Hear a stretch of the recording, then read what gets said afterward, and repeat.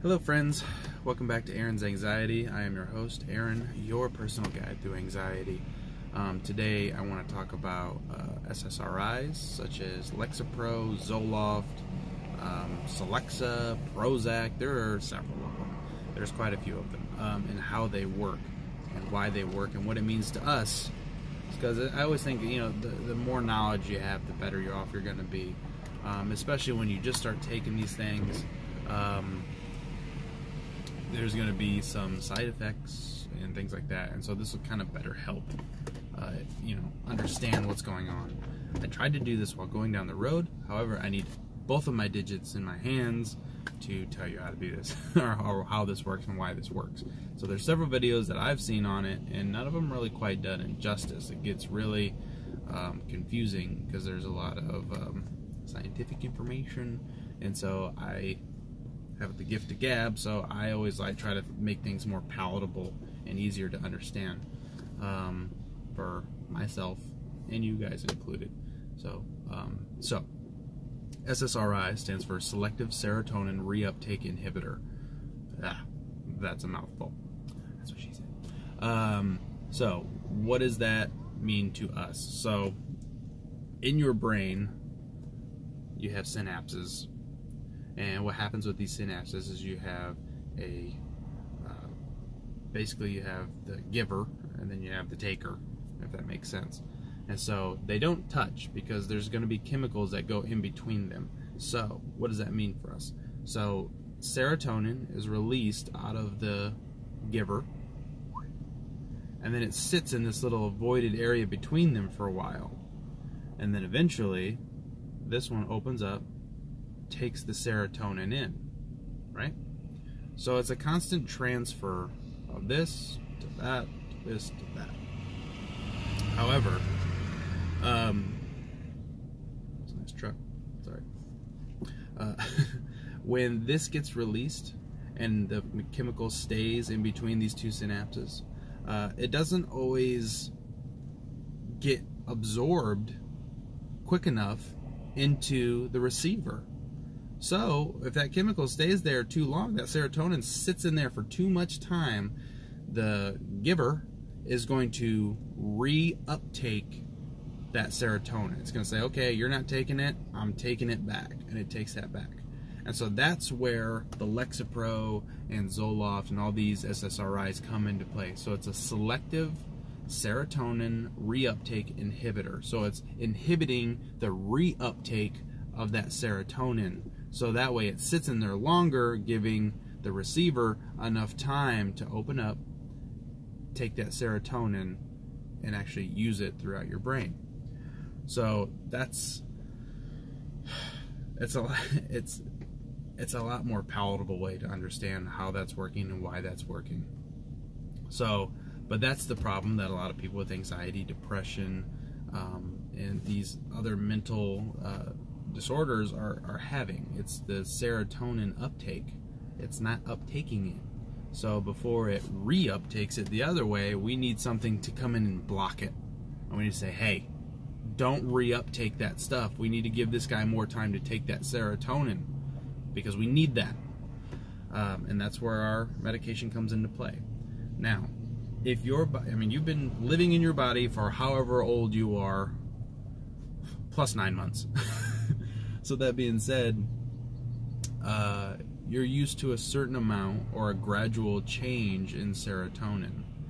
Um, so when you're not getting that serotonin as you need it, it's going to start getting uh, pretty hectic in your mind. And that's when the anxiety and depression, depersonalization, um, these other mental disorders are going to start showing themselves. so, what that means for you is that when you take this medication, you say, okay, I have an anxiety problem, I have a depression problem.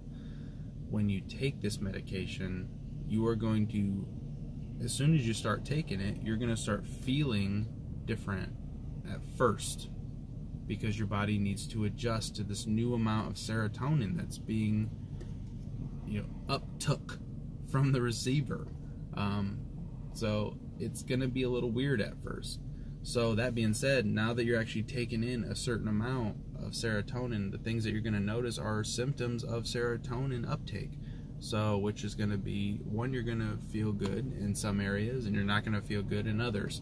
So, basically, this is where the, the, symptoms always start within the first three weeks because your body has to get used to it. Like I said, it's been a slow, gradual change up into this point, and now all of a sudden you just want to throw more at it and expect it to just work like aspirin, and it doesn't work like that. Um, everything's got to be slow and gradual. So you are going to experience a lot of times people are going to experience more anxiety. I experienced more anxiety. I thought I was doing super duper good, and then I was like, all right, now that I'm doing super duper good, I'm going to start on Zoloft at the time and excuse me, and I'm gonna take care of whatever left of this anxiety that I have. Well, when I started taking the Zoloft, I mean, day one, I thought I was back in the thicket. Like I was like in a dark place day one. I was like, whoa, what happened? I'm going backwards. This isn't cool. This is scary and this sucks. This is kind of like where I was at before. What am I doing? Um, and that for people with high anxiety, is kind of normal, unfortunately. Um, it's not everybody by any means, um, but for like I said, those of us with high anxiety, it's going to probably be the majority of us, and it probably won't get crazy, crazy uh, like it did for me. Um, but you, you got to know that it's to be expected that you're going to have elevated anxiety for a little while. However, I will say that after three weeks with this Zoloft medication that I was taking, I was still taking it and I was still having increased anxiety. Um, and it would be increased for like 20 minutes to a half hour and then it would kind of subside and I'd start feeling better. At that point is when I talked to my doctor and he said, well, maybe this one isn't for you if it's still giving you that elevated feeling of anxiety. That's when I switched to Lexapro. Um, so, not saying you can't get it with Lexapro, because when I first started Lexapro, it was the same thing. A little bit of elevated anxiety, uh, it wasn't as bad. I wasn't going on like almost panic attack mode, um, but it was still elevated. So you got to hang out with that for, like I said, you want to give it at least three weeks, um, and then if you know you're still getting more anxiety because of the not that's not anxiety it's more anxiety because of the medication that's when i would kind of say something to your doctor they might tell you to keep on rolling so it just depends on your doctor and your health, and there's a lot of aspects. People ask me what they should take uh, medication wise, and it's like, you know, I'm not the guy for that. You know what I mean? I can tell you what I have taken and how it's affected me, but that doesn't mean it's how it's going to affect you.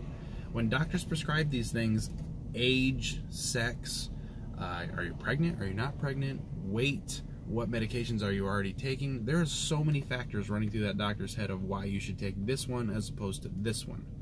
Um, Lexapro, um, from my understanding, from my doctor you know, standpoint, if you can take it, it's one of the best ones to take because it has the least amount of side effects, and it's one of the newer ones, and um, it's kind of the more evolved out of all of them, if you can say that. They're all pretty much the same thing.